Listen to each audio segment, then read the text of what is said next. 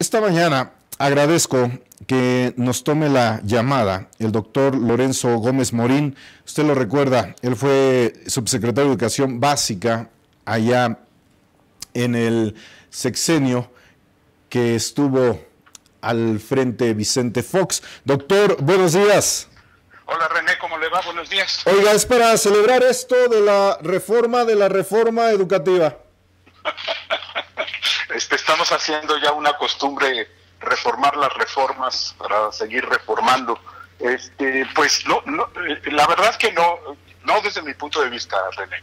Eh, yo creo que la, la, la, discusión que se ha dado, el gran ausente en, la, en esta discusión es qué es lo que es más importante y lo que es mejor para cumplir el derecho de la educación de los niños, ¿no?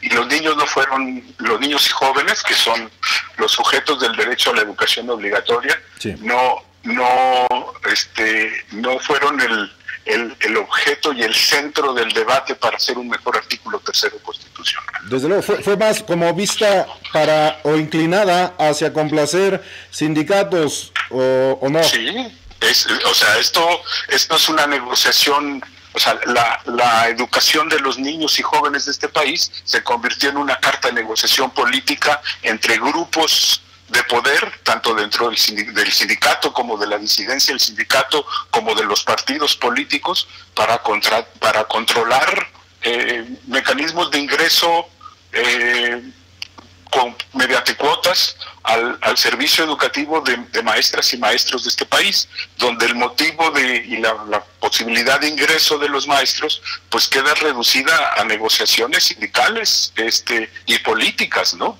Yo creo que eso es muy grave, eso es muy, muy grave, porque eh, eso implica que lo importante no es que los niños tengan a los mejores maestros, sino quién controla el ingreso de los maestros al sistema educativo. Y ese debate es el que no tenemos que dar, ¿no? Claro, eh, yo creo que, porque ese debate es falso, es un debate de negocio, es un debate de control político, no es un debate educativo, ¿no? Oiga, eh, ¿debería cambiarse educativa por magisterial esta reforma? Eh, pues ni siquiera magisterial, porque ojalá fuera magisterial. Magisterial significa que tiene una perspectiva de, de, los docentes, de los maestros, en el sentido profesional, es decir, una visión profesional de los docentes con respecto a esto. No es magisterial, es sindical política, ¿no? Este, de autoridad política y sindical, que a ratos ya no sabemos cuál es cuál, ¿no? Este, cada día esa línea divisoria entre, entre la autoridad del sindicato y la autoridad política gubernamental, pues cada día se, se, desdibuja este más, ¿no? Este, cada vez esa es una línea muy, muy delgada que, que empieza a desaparecer, ¿no?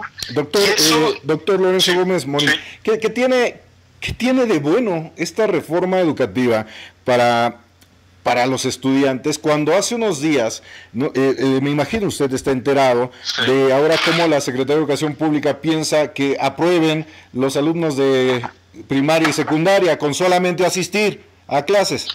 ¿Qué, hay de bueno de esta reforma educativa? Mire, eh, el, tema de la evaluación y de, los alumnos y, y la promoción de grado es un tema que viene debatiéndose en educación desde hace mucho tiempo. Yo en lo personal, por ejemplo, en el tema de evaluación para promoción de grado eh, en, preescolar y primero y segundo de primaria, pues no puedes reprobar un niño, o sea, porque no repruebas al niño, repruebas al maestro, a la escuela y al sistema educativo. Es decir, es, decir, es, es donde los niños adquieren los elementos fundamentales para el dominio de la lengua eh, y la adquisición de los elementos fundamentales para, para leer y para operaciones matemáticas básicas. Y eso implica la enseñanza, eso es, eso es un problema de enseñanza. Entonces, si el niño no aprende, pues algo pasó ahí, pero, pero, pero no hay que reprobarlo de año, ¿no? Y, yo creo que ese, ese es un debate pedagógico que lleva muchos años y que hay posiciones en, favor y en contra. A mí lo que me preocupa en, en, en esta reforma y estas reformas y, y todo el tema de evaluación es que en el centro está el control de los docentes. En el centro no está el aprendizaje de los niños. O sea, la preocupación no está en el aprendizaje de los niños, sino está en el control de las plazas y de los y de los docentes, ¿no? Y eso es el esa es la mejor receta para un desastre nacional. Todos los países que la educación se ha convertido en un control político, en una agencia de colocaciones, si me permite René hacer esta expresión, una agencia de colocaciones y a ver quién es el que vende y, y otorga las plazas al mejor postor o de las mejores maneras para mantener controles políticos, entonces el aprendizaje de los niños no está en el centro y entonces no se selecciona aquellos que van a ser los mejores para para que los niños aprendan, sino los que están más ligados o son más fieles al, grupo de poder que le dio la plaza, ¿no? Sea sea el sindicato o sea el gobierno, ¿eh? Porque y a veces esa, esa, es lo que digo, es a veces esa división es muy tenue, ¿no? O sea, a veces es lo mismo el gobierno que el sindicato o el sindicato que el gobierno, ¿no? O sea, nos queda claro, quienes celebran esto es eh, la gente, desde luego, y, y, el gobierno, que fue lo que prometió en campaña y, está cumpliendo.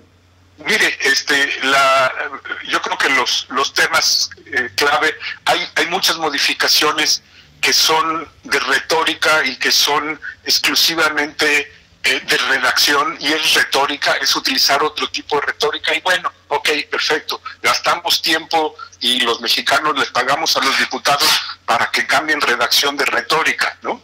Pero, pero estos cambios de fondo, estos cambios sí son sí son preocupantes, ¿no? Es decir, desaparece el INE y se va a hacer un nuevo instituto. Sí va a haber evaluación para el ingreso, o, sea, sí va a ser para el ingreso, este, pero no para la permanencia. Eh, eso, esa discusión, pues evidentemente se está dando, esa fue una promesa de campaña, pero aquí el, asunto es, es, el artículo transitorio, ¿no? En donde le abre la puerta para que, para que la CENTE, el CENTE, y el CENTE y la CENTE en el gobierno y los partidos políticos en el gobierno usen las plazas como mecanismo de control político para los docentes. Y por lo tanto es una reforma que desde mi punto de vista con ese transitorio denigra a las y los docentes de este país y los hace sujetos y objetos de negociación política. Eso es lo peor que le podemos hacer a nuestro sistema educativo y una falta de respeto a las maestras y los maestros de este país. Doctor eh, Lorenzo Gómez Morín, pues esperar las, las secundarias, dicen que ahí viene todo. no, bueno, es que eh, si esta es la primaria, ya no quiero ver cómo va a quedar la secundaria, de veras, ¿eh? O sea, es, es muy triste lo que estamos viendo, ¿no? Pues yo le agradezco al doctor Lorenzo Gómez Morín por su, por su opinión y por su tiempo, doctor. Al contrario, René, gracias a ustedes por considerarme.